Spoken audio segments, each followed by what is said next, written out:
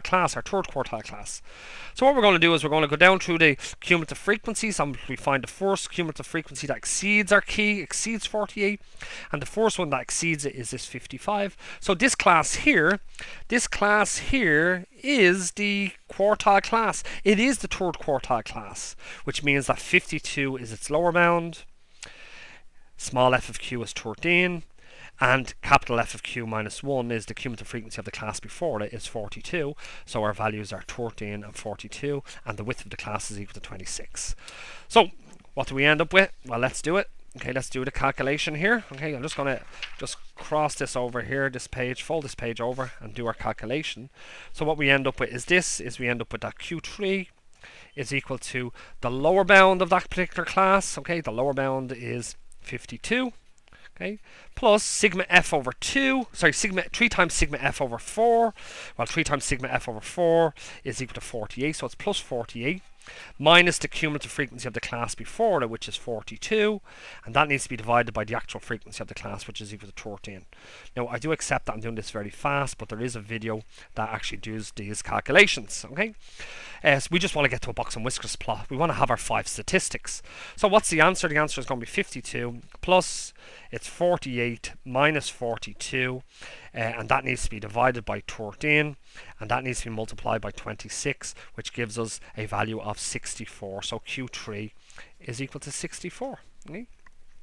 our lower bound outliers our lower bound outliers okay well, to calculate our lower bound outliers, we need to have our interquartile range. So our interquartile range is Q3 minus Q1.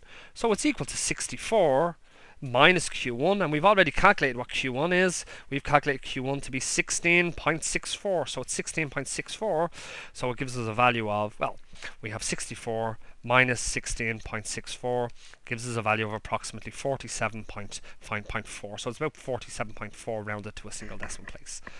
So the position of lower bound outliers, uh, things, uh, observations that are classified as lower bound outliers are observations that are less than uh, Q1 minus 1.5 times the interquartile range. Okay, so we know what Q1 is. Q1 is 16.64, and that's minus 1.5 times 47.4, which gives us a value of, in our case here, we have 16.64 minus 1.5 times 47.4 gives us a value of approximately uh, approximately minus 54.5 okay? The upper bound outliers okay our upper bound outliers are upper bound outliers okay are any values that are bigger than that are bigger than 1.5 times the interquartile range above Q3. So our upper bound outliers are equal to Q3 plus 1.5 times our interquartile range. Now we've already calculated Q3 to be equal to 64, so it's 64 plus 1.5 times the interquartile range, which we've calculated to be 47.4. 47.4. So that gives us our upper bounds. Our upper bound outliers is going to be 64 plus 1.5 times 47.4 which gives us a value of approximately 135 135.1 okay? So just to write down all of our statistics our median our first quartile our first Q our third Q our our lower bound outliers our upper bound outliers are all going to be, well, let's have a look here. Let me make sure I get this right. Okay, so our median, our median is, we've, uh, we've identified that to be 36.7. Our first quartile, we've identified to be 16.64. Our third quartile, our third quartile we've identified to be 64. Our lower bound outliers are minus 54.5 and our upper bound outliers are at 135.1. Okay. So let's just keep that in mind. These are all very important values now. And now we can actually construct our box and whiskers plot. Okay.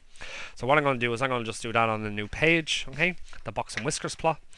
Uh, and what I'm going to do is uh, is I'm just going to create a continuum. Okay. I'm going to create a continuum.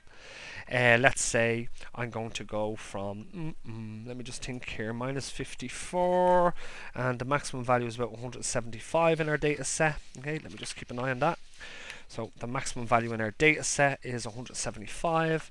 So I'm going to go to, let's say, 2075. So let, us just do it for across 30 here. Okay, so I'm going to go from here all the way up here to 30 okay uh, and I'm just going to say let's say for argument's sake I'll just start off let's say this is this is 0 here okay this is 0 that means that this is 50 okay that means that this is 100 okay that means that this value here is 150 and this value here is 200 okay is 200 and we could continue on which means that this value down here okay is minus 50 and so on and so forth so let's just keep that in mind. That's our scale.